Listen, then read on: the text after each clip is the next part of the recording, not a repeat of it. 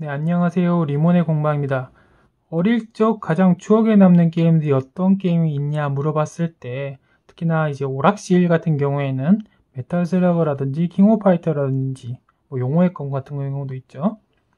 이 대다수의 게임들이 포함되어 있는 있는데 바로 네오지오가 되겠습니다. 이번에는 이 네오지오를 활용을 해서 휴대용 네오지오를 만들어 볼까 합니다. 일단 네오지오의 경우 두 가지 종류가 있죠. 가정용인 AS와 그리고 업소용이죠. MVS가 있는데 크기를 보게 되면 MVS가 상당히 이제 가정용 네오지오보다는 작다는 걸 알 수가 있게 되겠고요. 휴대용으로 제작을 하게 된다면 아무래도 가정용보다는 이렇게 MVS가 유리할 것으로 생각이 됩니다. 어, 사용되는 게임팩 같은 경우에도 네오지오 팩 같은 경우에는 상당히 높은 가격을 자랑하고 있기 때문에 아무래도 MVS로 간단하게 즐겨볼 수 있는 휴대용 게임기를 만들어 보는 게 좋지 않을까 생각이 들어서 이번 작업은 이렇게 MVS로 진행을 해 보도록 하겠습니다. 어, MVS 같은 경우에도 종류가 몇 가지 있죠. 대형 기판부터 시작해서 이렇게 소형 기판까지 있는데 어, 기판을 선택을 하는데 좀 고민이 있었습니다. 이유는 왜냐면 일단 이 MVS B타입 같은 경우에는 옆으로 좀 길게 된 모양이 되겠고요. 하지만 이제 높이가 작게 된 장점이 있습니다.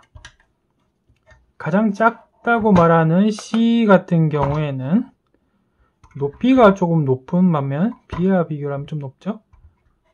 옆으로는 상당히 작은 크기를 자랑하고 있기 때문에 B를 활용을 해야 될까 아니면 C로 활용해야 될까 많이 고민을 하게 되었는데요. 어, B 같은 경우에는 중간에 커넥터가 여기 보이면 이제 연결되는 부분인데 이 부분을 그대로 살릴 경우에는 이렇게 상당히 두꺼운 두께를 그대로 가져가야 되거나 아니면 이렇게 많은 핀을 이제 납땜으로 연결해 줘야 되는 힘든 점이 있기 때문에 이번 작업은 MVS C타입으로 작업을 진행해 볼까 합니다. 얼마 전에 제가 유니바이오스 개조를 올리기도 했는데요. 그 유니바이오스 개조를 한 것 자체도 휴대용 네오지오를 제작을 하기 위해서 이렇게 사전 작업을 하게 되었습니다. 일단 MVS를 개조를 하기 위해서 몇 가지 이제 제약 조건이 있게 되는데요. 그 중 하나가 바로 이 잠마 커넥터입니다. 이 잠마 커넥터 같은 경우에는 이제 RGB만 출력을 하게 되는데요. 일반적으로 우리가 사용하는 LCD 같은 경우에는 여기서 출력하는 14K RGB를 입력을 받지 않고 있기 때문에 이 RGB 문제를 해결해야 될 것 같습니다. 그리고 전원 같은 경우에는 12V도 있고 5V도 있게 되는데 현재는 5V가 개조가 된 상태이기 때문에 5V 입력만으로서 운영이 가능할 것 같습니다. 또 하나의 문제는 바로 이 슬롯이 되겠습니다. 두 개의 슬롯이 있게 되고요. 뭐 뒤에서 보면 알겠지만 B60, A60 이런 식으로 해서 총 240개의 수많은 핀이 있게 되는데 이 슬롯이 그대로 유지하게 될 경우에는 외국 같은 경우에는 휴대용 MVS 뭐 작게 제작을 하게 되었지만 예, 제작이 된 경우를 봤을 때 이 슬롯을 그대로 둔뒤 어, 후면이라든지 전면에 액정과 컨트롤러를 두게 되어서 상당히 이제 불편한 모양의 게임기 형태가 되게 되었는데요. 아무래도 그렇게 게임기 형태를 하는 것은 좀 사용에 있어서 불편한 점이 많기 때문에 이번에는 이 슬롯을 제거를 한 뒤 그리고 배선을 통해서 연결을 해볼까 합니다. 이제 기판에 불필요한 부품들을 제거를 해야 될 텐데요. 몇 가지 이제 눈에 띄는 게 일단 딥 스위치 같은 경우도 있고 이렇게 커넥터도 있죠. 그리고 어, 퓨즈 같은 경우도 있고 전지 부분도 있습니다. 콘덴서도 이제 상당히 큰 콘덴서가 있는데 어, 470짜리 콘덴서가 있는데 이제 16V 전압 이제 용량을 가지고 있는데 사실상 이제 12V 쓰지 않고 5V로 입력하기 때문에 좀 더 작은 사이즈의 콘덴서도 교체를 하면 될 것 같습니다. 그리고 어, 12V를 사용하지 않기 때문에 제일 상단에 있는 이 부분이죠. 이 부분의 콘덴서도 불필요하기 때문에 제거를 해주도록 하겠습니다.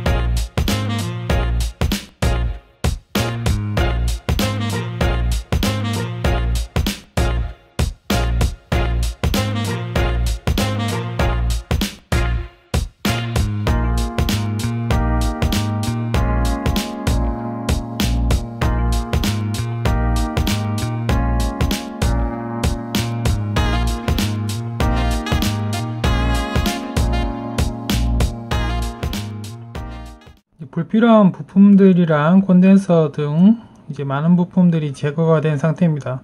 상당히 이제 심플해졌죠. 이 상태에서 더 진행을 해볼 텐데 아무래도 그냥 사용하기에는 높이가 높아서 좀 불편하다 생각이 듭니다. 이 하단 부분이 이렇게 잘라내진다고 하더라도 아무래도 높이가 높겠죠. LCD 크기가 이 정도라 생각을 한다면 이 슬로프 부분 정도가 아무래도 어, 남는 부분이라 생각이 되는데요.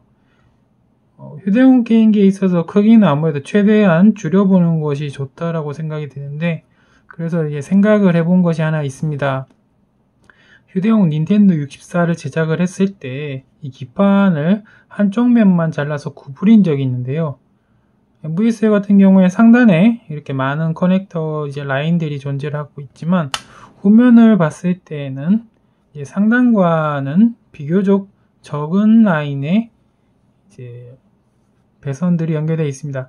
자 그렇게 됐을 경우에 불필요한 부분을 잘라낸 거 플러스 이 후면 부분을 잘라낸 뒤 구부려 주게 된다면 아무래도 조금 더 크기를 줄일 수 있지 않을까라는 생각이 듭니다. 그래서 이 커팅을 하는 것은 불필요한 부분 조금 잘라낸 뒤 그리고 하단 부분을 커팅을 해서 크기를 최대한 줄여보도록 하겠습니다. 커팅할 부분도 유성펜으로 그려주도록 하겠습니다.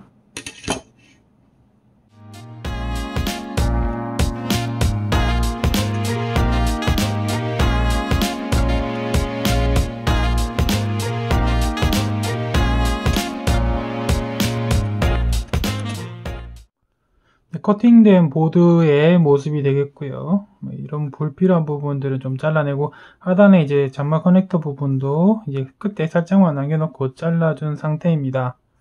뭐 전면에 봤을 때는 크게 문제는 없지만 이제 후면을 보게 되면 이런 식으로 이제 접을 수 있도록 어, 옆 측면에서 볼까요? 자 이런 식으로 홈을 파야 하는데요. 하단면에는 커팅이 들어가 있지만 이렇게 상단은 커팅이 되지 않게 조심스럽게 이렇게 홈을 파내주게 됩니다. 이 파내준 홈을 기준으로 해서 이 상단 부분을 접어주게 될 텐데요. 그렇게 했을 경우에 이렇게 많은 부분의 라인들은 그대로 사용이 가능할 거고 어, 하단 부분에 이렇게 끊어진 부분은 배선을 통해서 연결을 해주도록 하겠습니다. 잘라진 부분도 이제 한번 구부려 볼까요?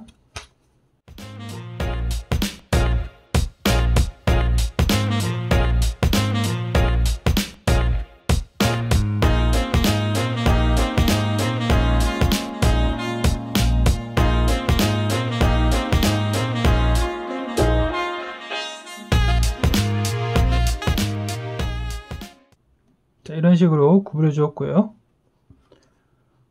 어, 부러지지 않도록 하단 부분은 고정을 시켜 주도록 하겠습니다.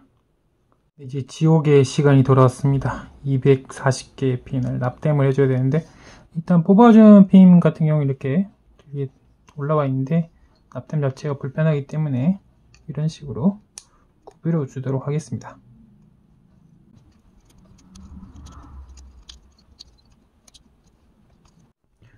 꺾어줬던 부분에는 에폭시로 고정을 시킨 상태여서 이제 더 이상 구부러지거나 했을 때 부러지지 않도록 고정을 시켜주었습니다.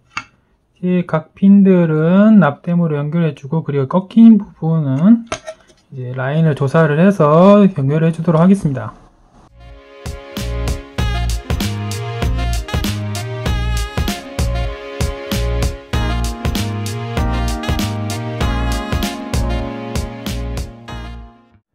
슬롯 배선이 완료된 상태입니다.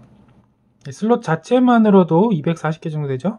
거기서 이제 추가적으로 점프를 해준 부분까지 포함을 하게 되면 총 500개 이상의 납땜이 됐는데 상당히 시간이 많이 소요가 되었습니다.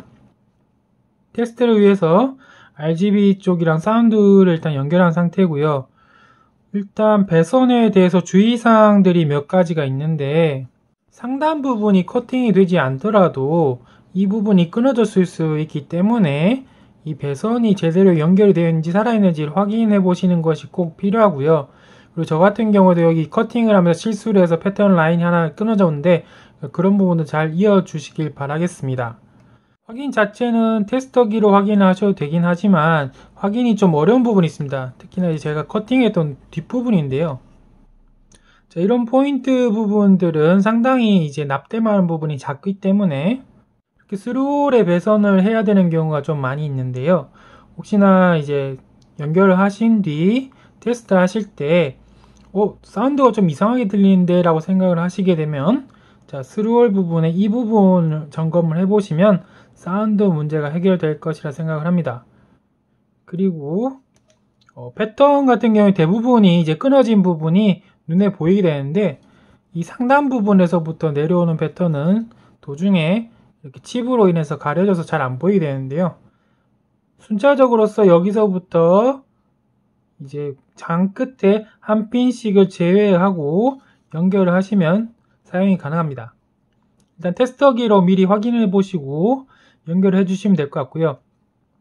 그라운드 같은 경우에는 상단 부분을 커팅하지 않았기 때문에 문제가 없지만 이제 5V 같은 경우에는 연결이 끊어지는 경우가 있는데요. 이렇게 가운데 부분 이렇게 패턴이 다 연결된 부분이 있는데 이 부분은 꼭 5V를 점프를 해서 연결을 해 주시든지 아니면 제대로 5V가 출력이 되고 있는지 확인이 필요합니다. 게임 카세트를 연결해서 확인해 볼 텐데 King of Fighter 96을 연결해 보도록 하겠습니다. 자, 슬롯이 고정되어 있지 않기 때문에 일단 하단부터 해서 연결해 보도록 하죠.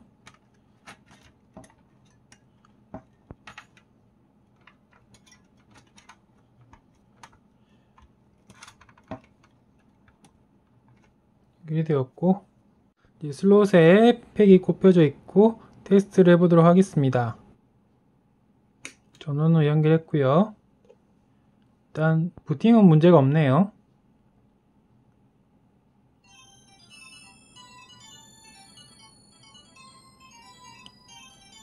네, 게임도 정상적 인식이 된 것 같습니다. 이제 화면이 깨지지 않냐 아니면 사운드에 문제가 있느냐 확인도 필요할 것 같은데요.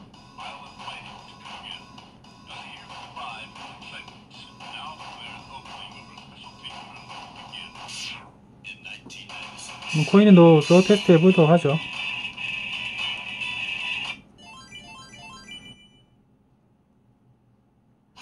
아직까지는 문제가 없는 것 같습니다.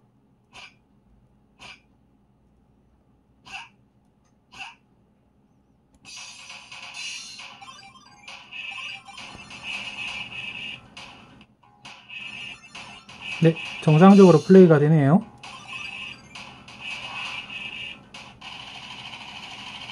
뭐 사운드도 문제도 없고 화면이 깨진다든지 그런 문제도 없는 것 같습니다.